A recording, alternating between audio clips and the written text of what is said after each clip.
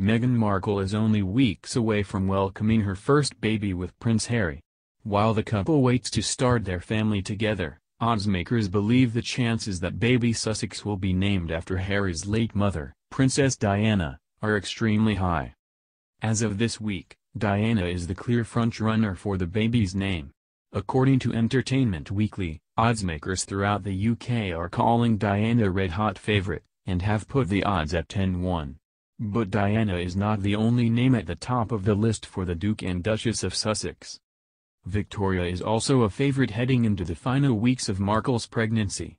Other candidates include Isabella, or Isabella, and Alice, which are both at 12-1 odds. Bringing up the rear are names like Alexandra, Elizabeth, and Grace all of which are unlikely to be chosen. The chances that Harry and Markle pick a name like Diana, of course, depend on whether or not the child is a girl. Although the odds are in favor of a girl, there is still a chance that they welcome a boy. In the event that the child is a male, Arthur is the current frontrunner, followed by Edward, Philip, and James.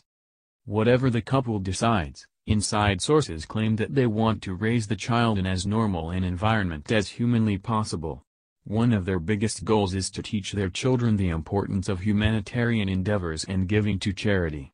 They also reportedly plan to bring in Markle's mother to help care and raise the child.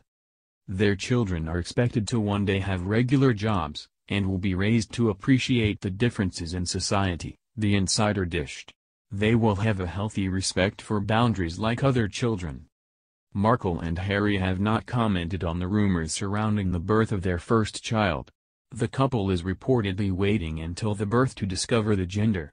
Kensington Palace has also withheld Markle's due date, though she is expected to give birth later this month, if all goes to plan.